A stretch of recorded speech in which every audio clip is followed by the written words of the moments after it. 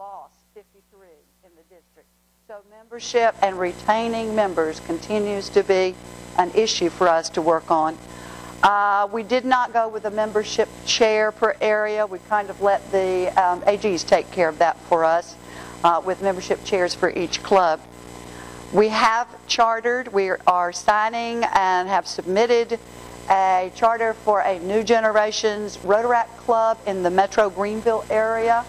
Uh, we will achieve that goal uh, within the next few weeks, actually. Uh, we chartered the Rotary Club of Lake Wylie last June 30th. Uh, very active and growing club, I might add. We are working on increasing our goals uh, to the Rotary Foundation. Uh, we hope to see an increase of 10%. We had a wonderful District Polio Plus event, uh, the golf ball drop back in September. We netted $4,700 for that. That was a district-wide event. If you missed it, it was lots and lots of fun. And I will tell you that Kathy Ronald, our polio chair, just did an outstanding job. We have another event coming up if you missed that one. I don't want you to miss February the 18th. We are going to be with the Greenville Road Warriors, a, a, an ice hockey team.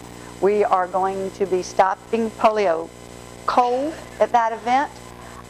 Judy Prince, raise your hand please, has tickets for sale. $16.50 for each ticket. It's on a Friday night, so it'll be a good night if you could make it to Greenville and you love ice hockey. $16.50 and your club will get $2 credit towards your Polio Plus for each ticket that's sold. We are also selling commemorative hockey pucks uh, for that event. Even if you can't attend, you, if you can buy one of these hockey pucks, that will help us in our goal, um, our Polio Plus goal for the district. So I hope, see Judy, or uh, you can contact your AG, or you can go online for to sign up for tickets. So we hope to see you all there. We're going to have special seating, and it's going to be a lot of fun for us. Uh, so far, we raised 88000 last year for our Polio Plus goal. We have raised 88000 this year so far. So, so far, we have raised 177000 So we're over our goal. We, we don't want to stop there, for sure. We want to keep going. We would like to see this, this uh, challenge completed by international uh, convention in May. So let's, let's keep working on this Polio Plus adding 75 benefactors. Benefactors is one of the easiest, most painless things you can do for your foundation. It's $1,000 upon your death. You're not going to miss it. It does not require uh, a great deal of uh, legal preparation. You fill out a card. And our foundation chair, Rich Wall, happened to have brought some cards up on this front table. We would love to see every one of you sign up to be a benefactor upon your death. It's a, it's a wonderful thing to do for your Rotary Foundation. Um, five Paul Harris Society members. Currently we are at 24. We would like to add more. Uh, 24 in a district of almost 3,000 people is a very small percentage. Now Paul Harris Society members pledge $1,000 a year to the Rotary Foundation. You can do it through uh, electronic transfer once a quarter at $250. Uh, it's a wonderful, wonderful thing that you can do for your foundation, which will help us to, to be able to do the programs that we want to get done uh, worldwide and locally as well. We would like to add some five bequest society, and that's a little step up from benefactor. That's 10000 upon your death. It can be in money, it can be in an insurance policy, it can be in stock, it can be in property. There's no restriction on how you pledge that 10000 upon your death. This is another wonderful way to, to help your uh, district, your RI Foundation as well. Hold three World Affairs seminars. Our plan was to hold three, one in October, which we did hold. If you missed it, you missed an outstanding event with Deepa Willingham. Uh, But we have another extremely exciting one coming up on March the 14th. We were going to do a water uh, foundation event in March, but all the people, Al Still, has decided to be out of the country the whole month of March, so that won't work for us. So we're going to, we, we've had an opportunity to have some of our Haitian friends in. Father LaFontaine will be here on March the 14th. It's going to be an awesome event. Uh, Lynn Kenny, Claire Cool, and Rita Yarborough and David Brown are in charge of this event. Uh, it's going to be outstanding. But again, the October event was wonderful.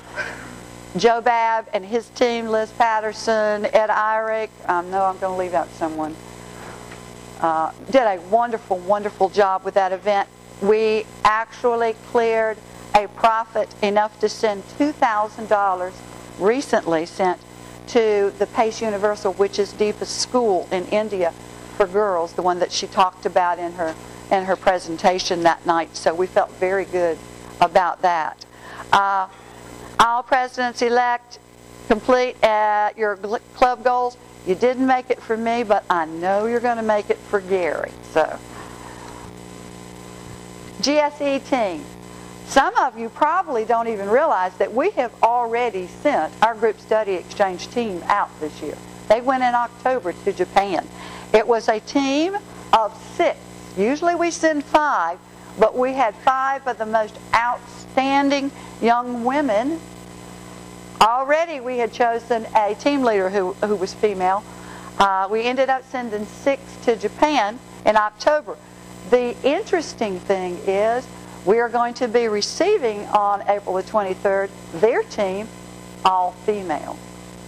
We have come a long way in Rotary, for sure, particularly when you look at the culture and how it's changing. AGs work with presidents to appoint club literacy coordinators. To my knowledge, we have one in each club. Each club to adopt a literacy program in cooperation with district literacy coordinator. Most of our clubs have a literacy project, uh, and we feel very good about that as well. Some of you who may not have a local literacy project do have an international one. Uh, you may have contributed to our book project in Haiti. Uh, March is Literacy Month on the Rotary calendar. We would love for you to have some event in your club during March. Uh, one of our major goals this year was to start a library in Cange, Haiti. Uh, we've had we've run into some issues with timing uh, because of the earthquake. The facility, the library, became a medical supply depot basically for Cange and they're just now getting around to getting all the medical supplies cleared out. So first we were going to go in November, and then we were going this uh, this month. Uh, we've also had an issue. Uh, Sarah Monsbach's husband is undergoing uh, treatment in Houston uh, for the next 90 days, and uh, so she's not able to go until June. So we've we've postponed it, but we're looking for folks who might like to join us in Haiti to do this wonderful project. We've gotten uh, nearly $6,000 from your clubs and donations. It's going to allow us to buy a lot of books. We're going to fund this library. We're also going to send out tubs to each of the 18 satellite libraries. And we hope to set up an electronic system in the Cange library, which is really going to facilitate uh, being able to, to check out books and check them back in. So we're in the process of ordering books right now. We, we thank you so much for your generosity. Without you, we would not be purchasing any books. And I might add that the Easley Club applied for a, a District Simplified grant, which they received, which is also going to help us to buy those materials as well for that project. World Community Service, water projects. We have them going on in Honduras. Uh, we have sanitation and food. We're working all around the, the globe actually on these. We have um, water projects. We have uh, the uh, homegrown relief in Haiti where we're teaching sustainable agriculture with the help of the uh, Charles and Ghislaine Warren. They will also be at the March 14th uh, event. Many of you have given money for this project. Uh, we appreciate that so much. Many of you have given money for the water project. Uh, we appreciate your generosity with that. We can make a difference in the world. We will make a difference in the world. Where do we stand with our president-elect uh, attending uh, pets? I hope that you're all, there, Gary says good. So we feel very, very positive about that. Uh, it's very, you know, the thing about pets is it changes from one year to the next. So even if you were a club president two years ago, things have changed dramatically. Uh, so we need you all there so we can be on the same page. Uh, we changed our AG's meeting from monthly to quarterly uh, at the request of the AGs. So uh, we've completed, thank you Terry Weaver, we have completed our training of club secretaries. Uh, we did it uh, with webinars this time. Uh, I hope you participated, those who, who did. Terry worked very hard, very long hours to get that training out. We hope you're all using DACDB. It's the only way to go only way to go. Presidents meet all reporting deadlines? We think so.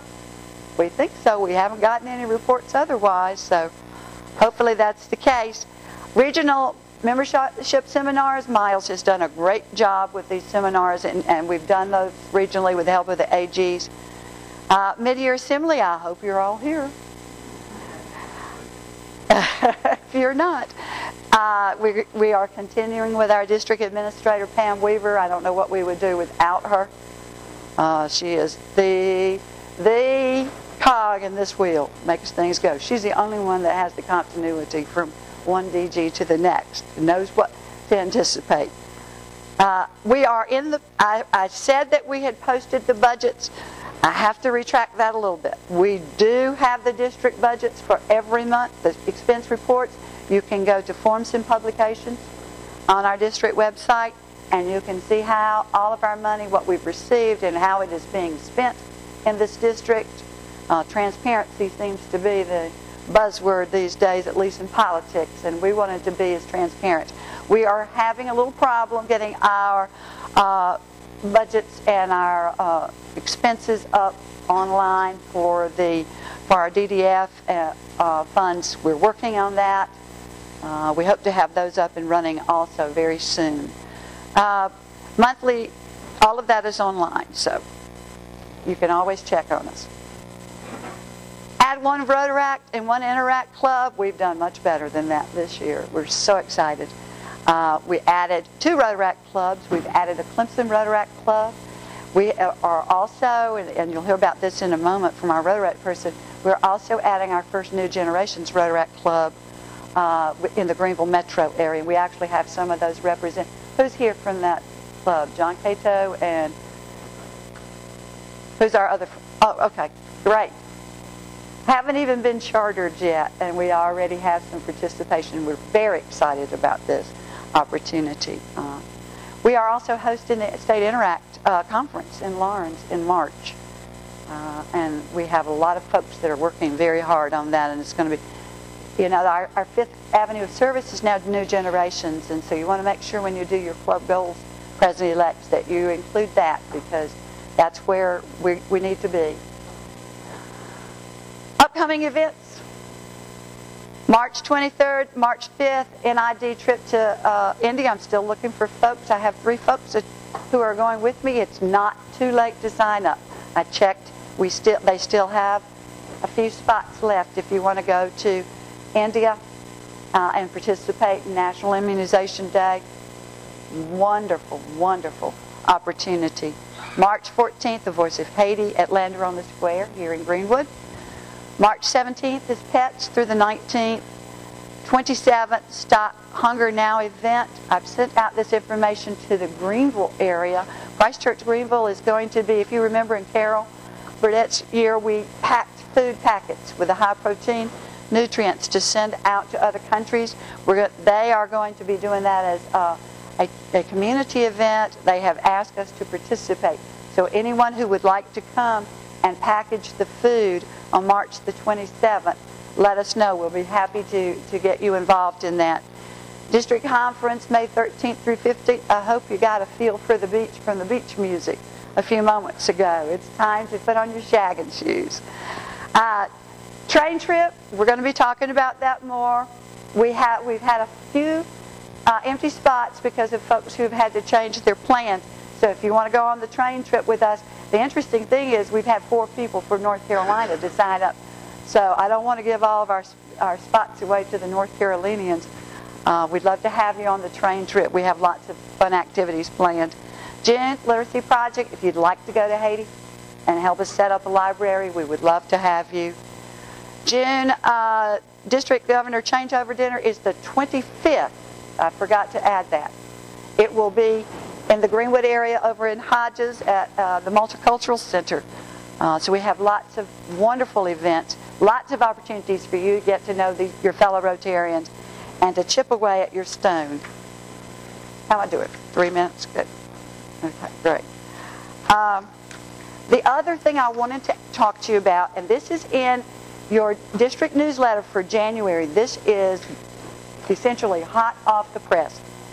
You have, as a club, until April the 1st to apply to be a charter for what I think are four exciting initiatives from Rotary International. One of them is something that I have been proposing for the last two or three years, and that's corporate memberships. Your club can apply as a pilot to have corporate membership. That means that a company joins Rotary, they designate four employees of that country. It should be someone senior, and then it can be three junior employees. They may all come to the Rotary Club meeting. They may only one come at a time. It's up. That's perfectly all right. They should participate in the club projects that you do, and they have to pay their dues. But they're not bound by coming each week. So your senior person doesn't have to come all of the time. We hear that all the time. Well, I'd love to be a Rotarian, but I can't make all these meetings. You know, I, am the manager. I know we have one in here Walmart. And there's no way that you're going to make all of them. But if you could send some of your your junior uh, folks, you would have that opportunity. Another uh, one of the innovative uh, pilots is going to be Flexible Rotary Club, in which you can change one element of your club. You might offer a family membership.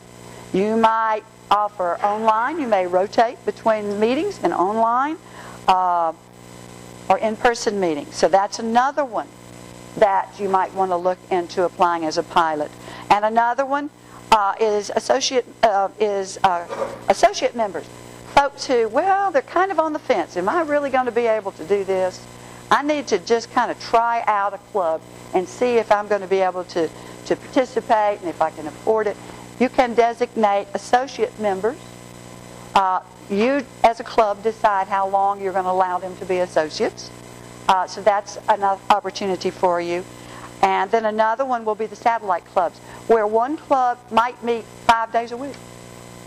One day it has its regular meeting, but then there's a group that meets on the next day uh, in person at, at uh, a restaurant or something, and then somebody else meets on, another group from that club meets online. If you're interested in being a pilot district, a pilot club, please get that information off of the January newsletter, and uh, we hope to see some of these applications come in for April 1st. I think it's going to be an exciting time.